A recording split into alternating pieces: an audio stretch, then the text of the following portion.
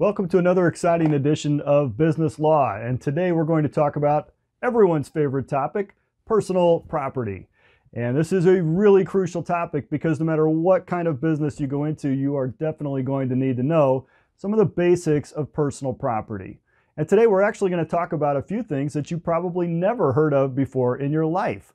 And that is a bailment. That's right, something that you've done many times in your life. In fact, one of the earliest legal transactions that you ever entered into, even as a small child, was a bailment. And you didn't even know what that was until today. So we're going to have lots of great things to delve into today personal property, bailments, and then a little bit about insurance before it's all said and done. So let's jump right in. First, we look at personal property, and today we're going to talk about the nature of personal property, how ownership can be acquired to items, and then how it can be given to others. We're going to look at the nature of a gift and exactly what is required for a true gift. And then we're going to look at what happens when you lose property and ultimately when someone else finds it, what kind of ownership rights do they have? And so let's jump in on talking about personal property. Now, the first thing to understand is that property consists of a whole collection of legal protections and rights. And there is a big difference between real property and personal property. In fact, in business law, we really look at three different kinds of property, don't we? We looked at intellectual property, trademarks, copyrights, patents, those kinds of things. They're really not tangible, but they are reproducible and they do have a value. And so we call them property, but they're really called intellectual property. We also have personal property and then real property.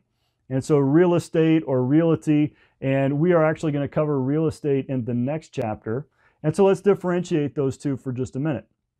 Personal property is anything that you can pick up and physically move. And so it doesn't exist in the space of what we talked about before about intellectual property. It is tangible, it is real, and it exists, right? But it's not physically attached to land. If something is physically and permanently affixed to the land, then it actually at that point is considered part of the real estate. And so real estate includes not only the land itself, that is the ground, but also any improvements to the land, which would be like landscaping, uh, ferns and trees and grass and all of those kinds of features. If you put in a nice little creek in your yard, uh, you know, a little goldfish pond, that's part of the land now. The goldfish, not so much, but the pond itself, yes, that counts as real estate. Even the building, so the house or the office building that you put on the land, that's part of the real estate. So personal property is everything else, everything in between. And so if you can pick it up and move it, then that's probably going to fall into some kind of category of personal property that we're talking about today. So, what do we mean when we say ownership of personal property? Well, the, the classic example in business law is to look at ownership as a bundle of rights. And so we give you the imagery of a bundle of sticks, right? It's a bunch of individual sticks all kind of wrapped together. And if you have them all, then we say you own something, okay? And so what are these individual sticks? What do we mean by that? Well, one individual stick would be the right to possess the land or the personal property in this particular case, the stuff. Another stick might be the right to sell it. And you say, well, wait a minute, if I have the right to possess it, don't I have the right to sell it? No, not necessarily. And we'll look at some distinctions between those two. The right to give it away, the right to lease it, that is, the right to rent it, and even the right to destroy personal property. That's right, you have the right as an American to destroy that personal property if you want to. And nobody can tell you otherwise, unless that personal property happens to be alive, uh, like an animal or something like that, then we might have a few things to say about that. But you have those rights. And so if you own them all, then we say, well, that's a certain kind of ownership. And if you own only some of them, then we might say something like, well, you're just leasing that property. So, for example, a renter, do they have the right to possess their apartment? right? Or in this case, with personal property, we'll use the example of an automobile, right? Uh, you are renting an automobile. Do you have the right to possess it? Certainly. Do you own it? Mm, no. We would say, no, you don't own it. Well, strictly speaking, legally, you do own the right to possess it. And so we would say you have one of the sticks, but not really the whole entire bundle. And so do you have the right to destroy it? No, absolutely not.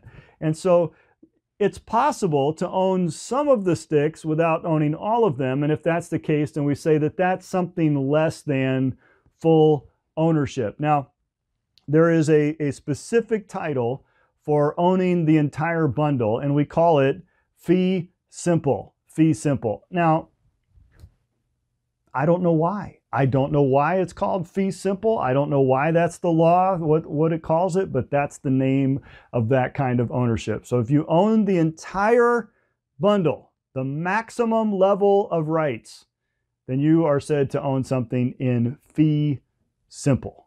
All right? Okay, I can go along with that.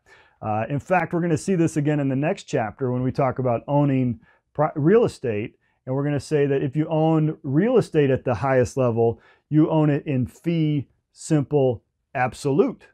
And you'll remember that because it is absolutely the highest level of ownership that you can have. So fee simple is the highest, the max. And by the way, if you just sell something to someone, the default, the assumption is that you are giving it to them in fee simple. Now, how can we acquire ownership other than purchase? Because we understand we can buy something. Are there other ways that we could acquire legal ownership of something? Well, certainly.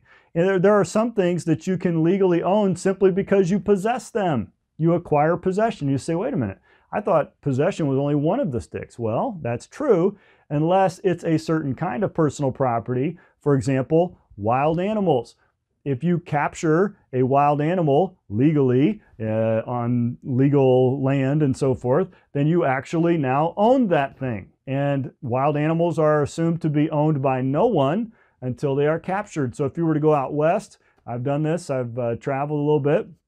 And one day I was uh, staying in a hotel and I looked out back and it was completely undeveloped, just prairie land. I don't know if it was Nebraska or somewhere out like that. And I look out and I saw a whole entire group of horses, like a herd of horses. What, what would you call a entire group of horses? I don't know. Somebody can comment about that. But uh, they were Mustangs. And I asked the lady at the desk, down, down at the desk when I checked out, I said, Did you see that pack of horses? And she said, uh, uh, Yeah, they're around here all the time. Those are wild Mustangs. I said, Who owns those? She says, Nobody. And she was right. Now, if I was to run out there and be very foolish with like a, a rope or probably like a bungee cord I found in my car and try to you know, grab one of those Mustangs and say, okay, you're mine. I'm going to take you home now and I'll call you George or whatever I name my Mustang. What's the appropriate, what's the appropriate name for a Mustang? I don't know. You could tell me that too. But uh, if I was to say, okay, George, you're mine now, and just start walking home with this Mustang, you're telling me I could just do that? Yes. And uh, in fact, that's legally exactly where it's at. So if you find abandoned property, and what we're going to find out in the next chapter is there's even a way to legally steal someone's land called adverse possession. And so we'll talk a little bit more about that in the next chapter. Another way you can own something is by producing it. Write it yourself, invent it, manufacture it. Uh, if you create something, let's say I was to go and 3D print something, well, then I own that. That's mine. I made it. Now let's talk a little bit about gifts because this is one category that's a little bit different. Normally, when we talk about a contract, we say that it must uh, it must follow that in order for this contract to be offer acceptance, we then have to have something called consideration. And that is that the party who is receiving the item of value must give something of value in exchange for that. And if they don't, then it's just a gift. Okay, and we, we've always said that. We said that in six chapters in contract law in Law 1, didn't we? We talked about, well, then that's just a gift. Well, what's so bad about a gift? Is there any point at which a gift is complete? In other words, the giver can no longer come back to the givee, I guess, and ask them to return that item to them. Legally demand that they give it back and say, well, hey, you know, I know I meant to give you that, but now I'm taking it back. Is there a point where the law would say, no, sorry, giver, you can no longer do that. You do not have the right to take that back? Well, again, the answer is yes. but there are three specific elements that must be met in order for the gift to be completed. The first is delivery. Delivery. So when you're giving a gift to someone, you cannot merely state an intention to someday in the future give them a gift. If you do, completely unenforceable for the most part. All right. Just like with most things, I have to say it depends. But for the most part, a statement of a future intent to give a gift, a true gift, is unenforceable. Even if you have a videotape of that person saying it in the most sincere terms, doesn't matter. Does not matter. If they didn't give it, if they didn't deliver the item to you, then their intention to give a gift doesn't matter. By the way, this comes up a lot in estate cases. And so there was a case in your book. You should definitely read this highlight. It's a huge case called In Re uh, Estate of Piper. And in this case, you had someone who uh, was elderly, an older lady, and she had someone that was taking care of her. And this person who was taking care of her uh, was promised by the lady that uh, she was um, that, that she wanted to give her her diamond ring. And so the problem was she never actually gave her the diamond ring. And instead, she just said she intended to give her the diamond ring. And with that being the case, uh, when she passed away, her will said everything goes to the deadbeat kids, right? The ones who were never around, the one that this lady was always talking bad about, but she never changed her will. And so the kids said, nope, we get the diamond rings. And the caretaker said, no, I get the diamond rings. And the judge said, Well, let me ask you this, lady. Did she ever actually deliver the diamond ring to you? And she said, No, she maintained it in her possession during her lifetime. And the judge said, Well, then I'm sorry. I don't disagree. I don't, I'm not calling you a liar. I'm sure she did intend to give that to you, but she did not actually give that to you because she never delivered it. So there must be deliver. Now, delivery can be constructive. So if I was to take my car keys and throw them to you and say, here, I wanted to give you my car. Whoa, you say that's quite a gift, Dr. Davis, a 2005 Nissan Murano. I mean, that's a classic automobile. And I would say, well, hey, you know, uh, only, only you, my favorite student. And I throw you my key to my car. And then later I say, hey, hey, uh, give me that, give me that key back because that's my car and you say, I'm sorry, sir, you gave that to me. Well, who's right and who's wrong? I didn't actually pick up my car and give it to you, right? So did I deliver it? Well, constructive delivery says you have to give some token of ownership, including something like the keys to something. So if it was constructive delivery, that counts. And so at that point, we would have to say, as long as the other elements are met, that this gift is complete. And so that is a true gift. Now, the second element is that there must have been donative intent. Donative intent. That means the intent to be a donor. Okay. Um, that that there was not only delivery, but it wasn't just me throwing you the keys and saying, "Hey, would you mind going to park my car? I left it on the curb running, and I'm going to get a ticket. So if you wouldn't mind moving that over to the parking lot, I'd really appreciate it. Thanks. Great." Okay. Now, if I do that to you, did I intend to permanently give you my car? No, I'm just asking you to do me a favor, which we're going to, by the way, find out is a bailment in about five minutes.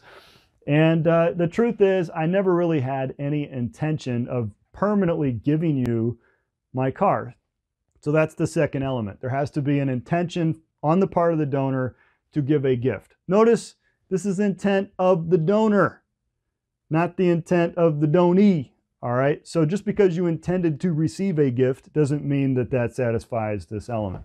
And then thirdly, it has to be accepted by the donee. So all day long, I can stand here holding out the keys to my car, but there's no gift completed until you actually take the keys and receive the gift. And there have been plenty of cases where the donee never does actually go in and accept the gift until it's too late and then at that point, the gift is ne was never completed.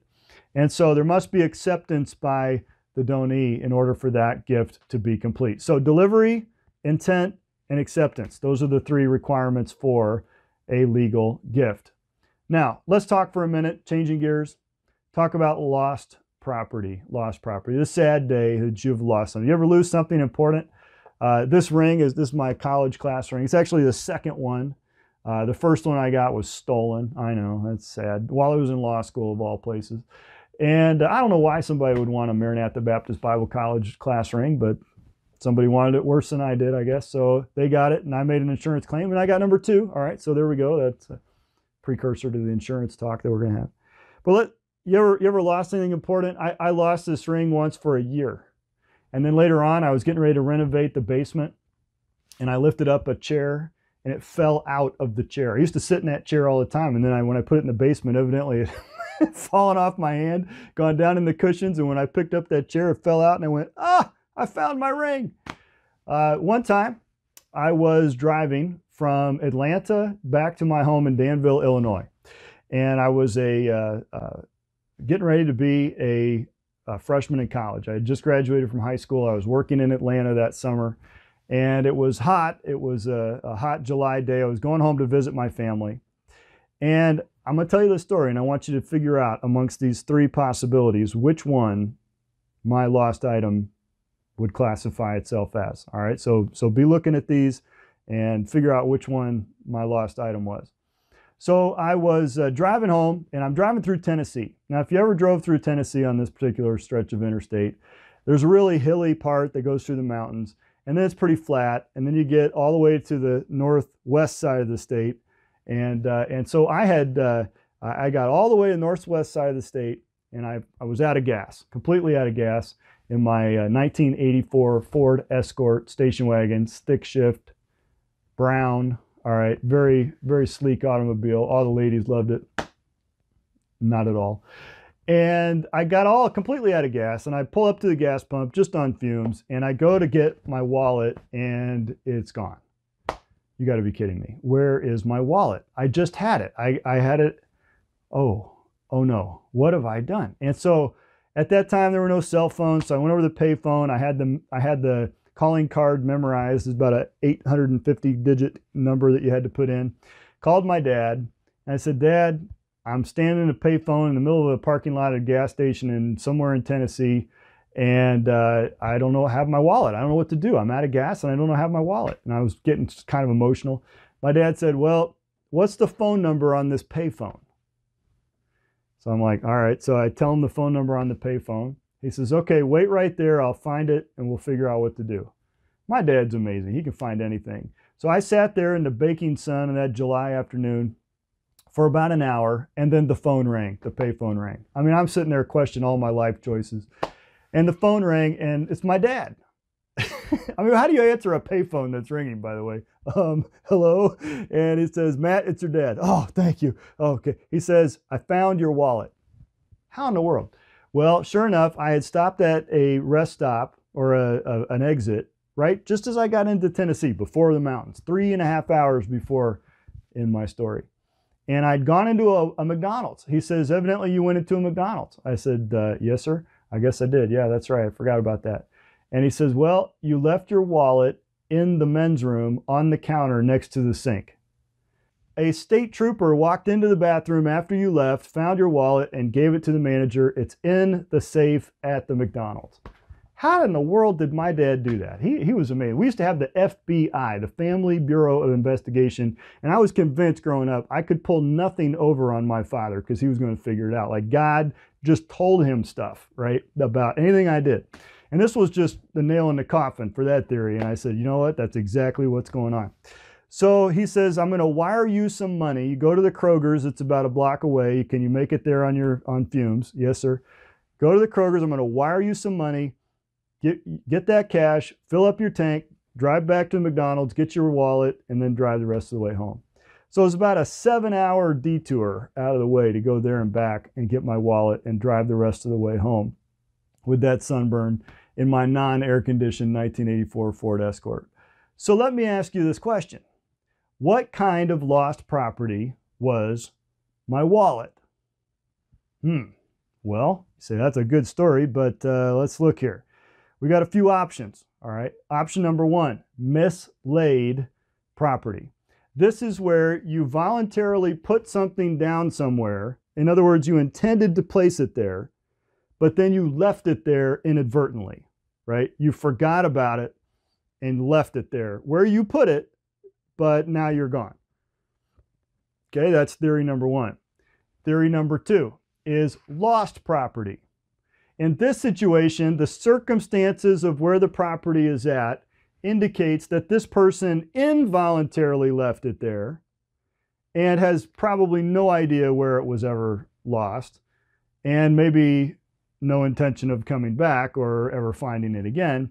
And then the third possibility is abandoned, which means they intentionally gave it up and don't intend to ever come back and get it. It's trash to them, right? So which one would you say my wallet was as it was sitting on the counter in the men's room at a McDonald's? All right.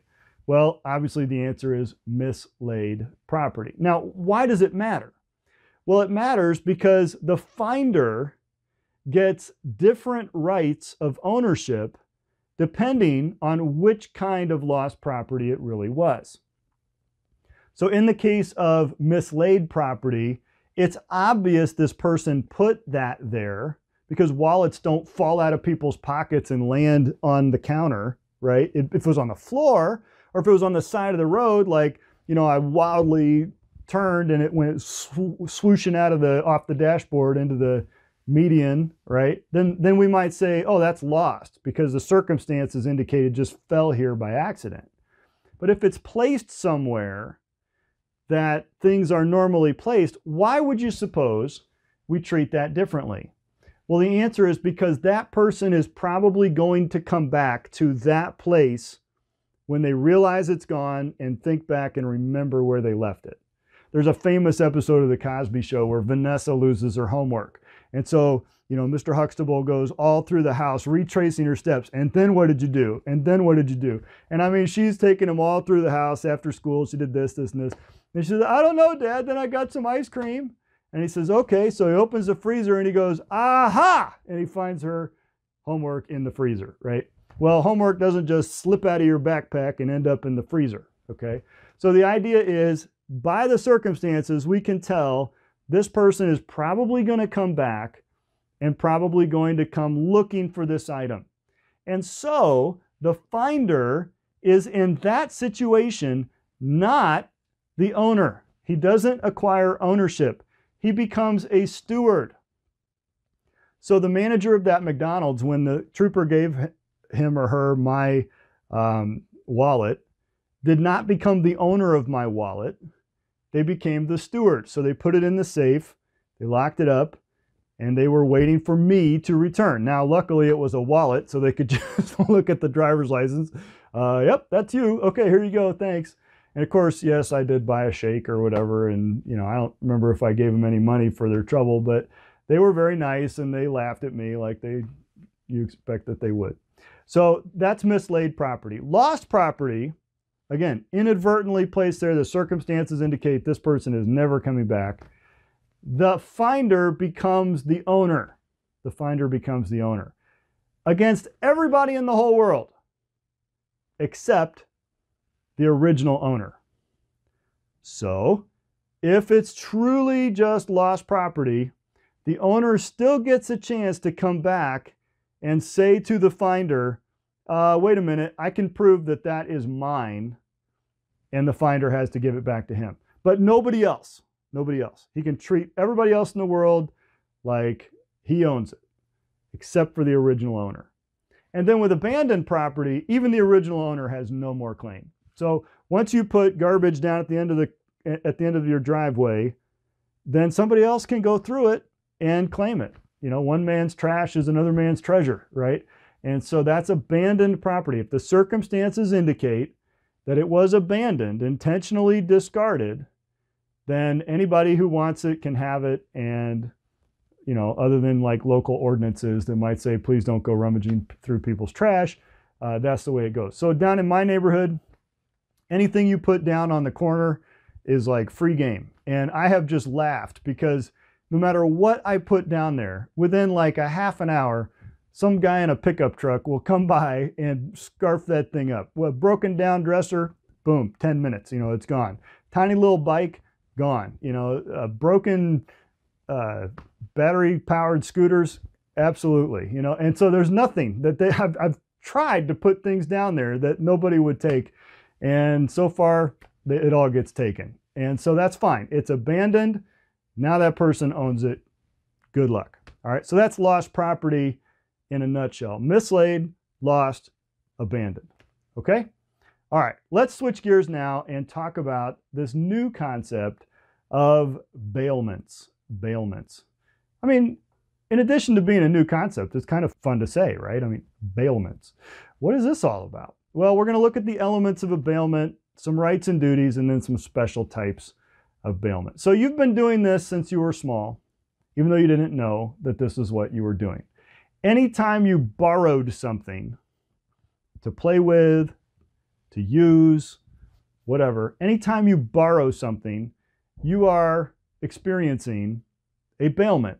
Congratulations. Good job. You did it. Yay, you did it. Uh, a bailment is just borrowing something, okay? Or loaning something to someone, or um, asking someone to watch something. That would be a bailment.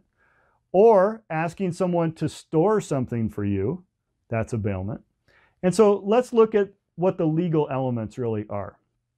A, le a legal bailment is formed when an item of personal property is delivered to someone else, but not ownership.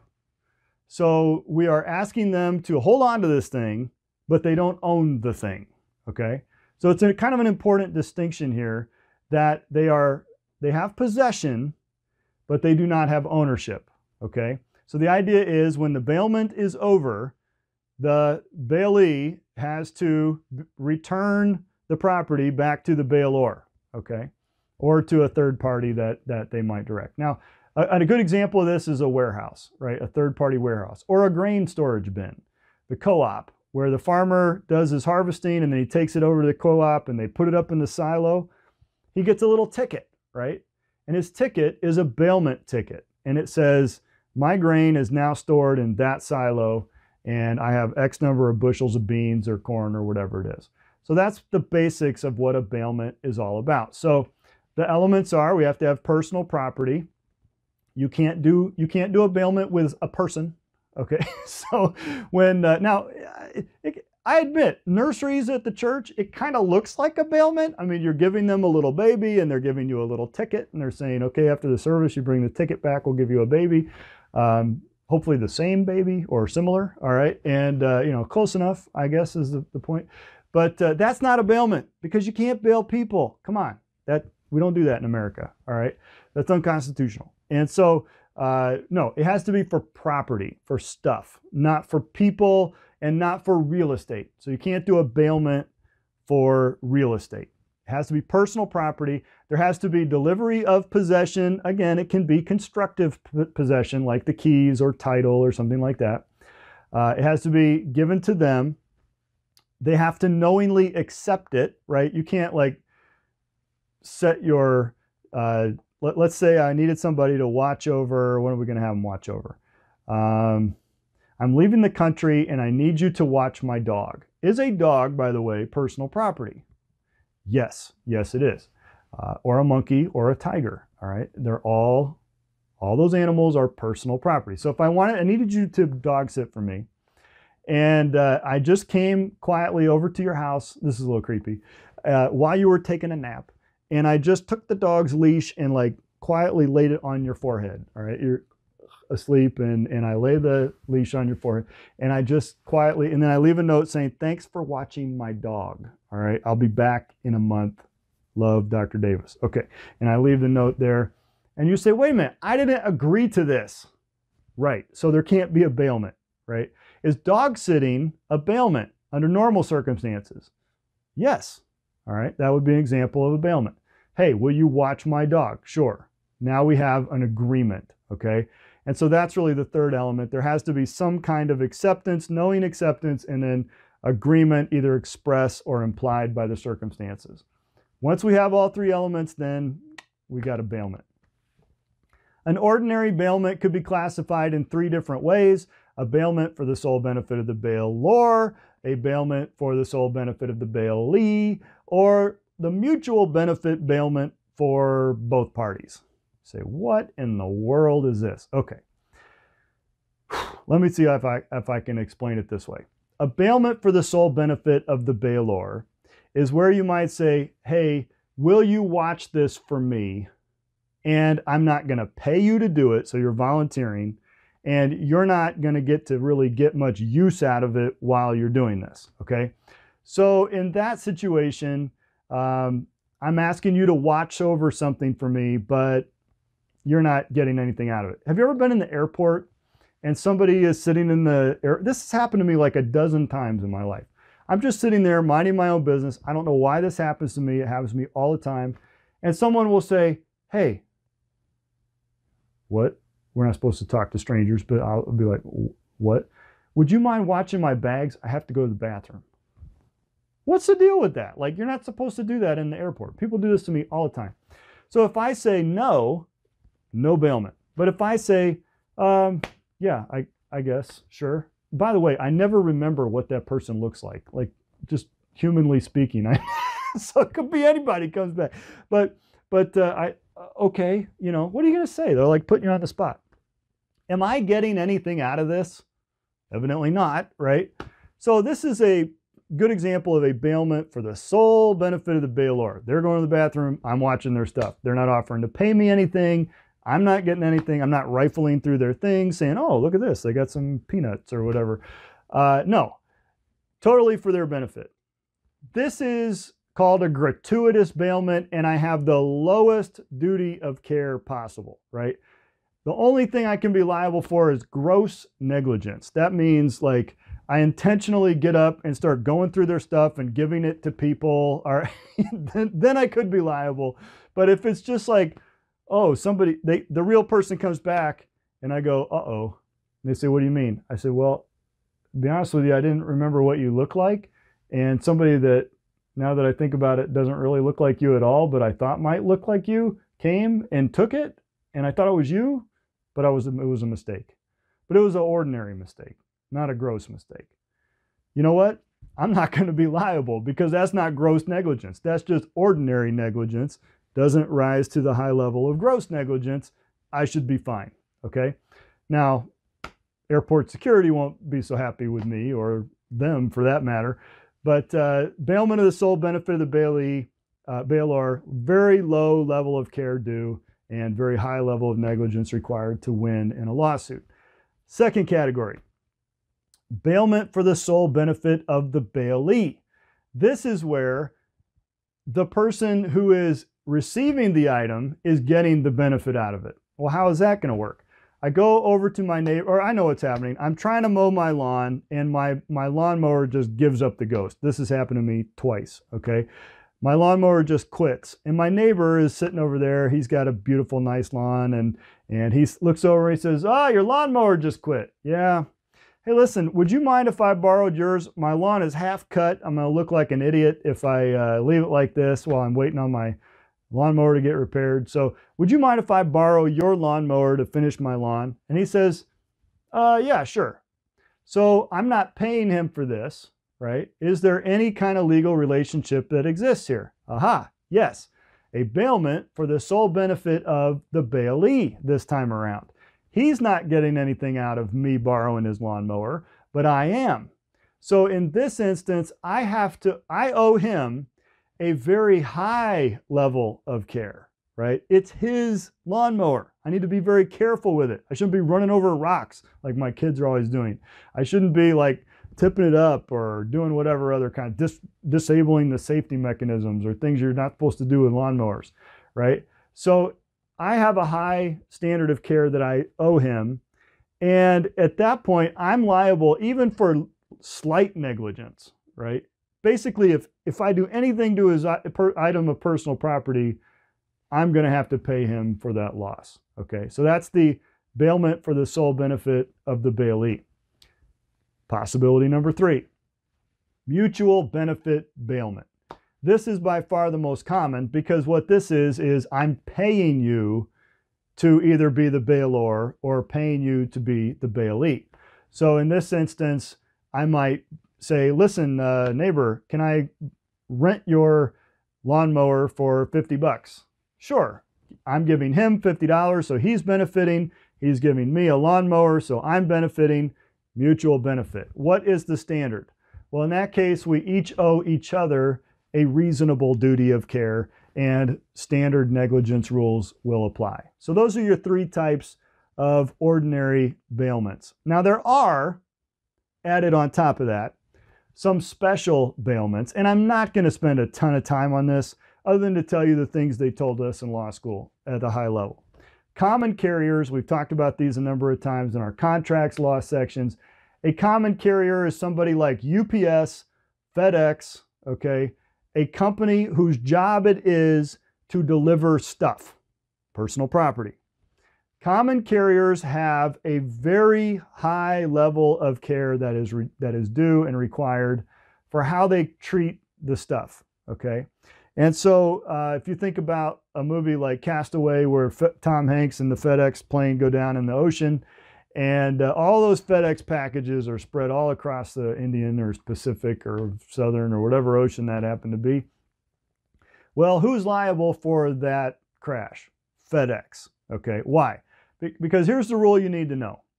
Basically, if a common carrier has anything at all happen to the stuff while it's in transit, they're liable. Stick it to them. Okay, absolutely stick it to the common carrier. If there's a test question and it says, uh, common carrier, blah, blah, blah, blah, blah, are they liable? Yes. Okay, I don't care what else is in the question. Common carrier, something happened, stick it to them. All right, easy enough. Everything in the middle is just fluff. Don't even need to know. Why? Because it says strictly liable. Strictly liable. That means I don't need to know the reason why. I don't need to know any excuse you had. You're liable, pay. Now I give you in here a couple of things that are exceptions like act of God, act of the public enemy. I mean, some far-fetched stuff like what if a pandemic breaks out, blah, blah, blah, as if that's ever going to happen. Okay. So you know, a couple of really unrealistic things in here that we're finding out might not be so unrealistic. But uh, common carrier, stick it to them. Warehouses, reasonable duty of care. Uh, they can't exculpate. You say, what is that word? Did you misspell something? That looks misspelled, Dr. Davis. I'm pretty sure you misspelled something. No, exculpate that means you can't completely eliminate the liability. Say, why didn't you just put eliminate? Because I put exculpate, and that's the legal word that you use. You're going to sound a lot smarter in life if you just learn this terminology, all right? So exculpate, and then you can't lose an argument if you use the word exculpate, all right? So just learn it and use it. Learn it, love it, live it, all right? So you can't completely eliminate liability, but you can limit the liability, limit it. Innkeepers, that is a motel, hotel. All right. By the way, what is the difference between a hotel and a motel? I feel like they should have taught us that in high school or something. Uh, but anyway, innkeeper, uh, if if you give them your valuables to put into the safe of the hotel, and then it gets lost or it gets stolen, then they owe you okay? But the parking areas and the common areas, not necessarily. Uh, so that's why there's a lot of legalese. You ever look at the back of the door in a hotel room? Like there's all this legalese. This is the kind of stuff they're trying to weasel out of, okay? So innkeepers have a very high level, strict liability over the things that you leave in the hotel, and then they try to always exculpate themselves. They can't, but they can limit the liability, all right? Okay, that's bailments in a nutshell. Okay. Now we're going to switch gears and talk about insurance. Insurance. And we're going to look at some of the terminology. We'll look at something called an insurable interest. And then we'll look uh, just a little bit at the insurance contract. All right. So insurance is a contractual agreement for transferring or allocating risk. Risk. Okay. So the important concept of insurance is risk. That's why what commonly is referred to as health insurance these days is really not insurance at all. Uh, when you talk about single payer health insurance and the government should take over this and that, um, it's really not insurance if it covers everything. Okay, because why? Because we're at that level not even talking about risk anymore. We're talking about certainty. Okay, so what is risk? Risk is a prediction, a mathematical prediction about the possibility, the potential of a loss of money based on known and unknown factors. Okay? So risk involves some kind of potential loss due to uncertainty and unknown.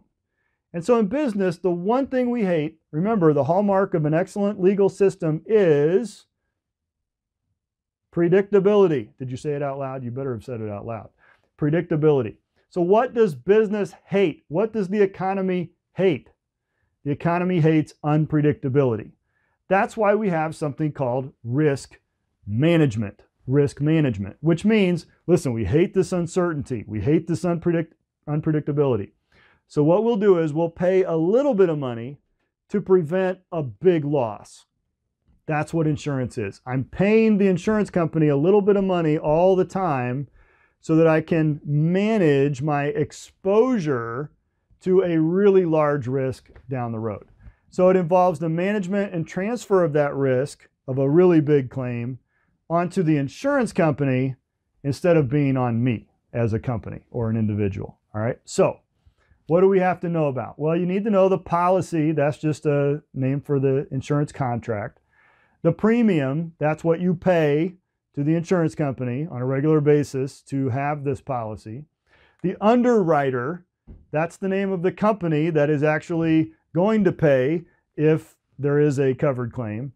And then we're going to look at the difference between a broker and an agent. Now, let me just stop here for a minute because this is super important to know just from a consumer standpoint. All right.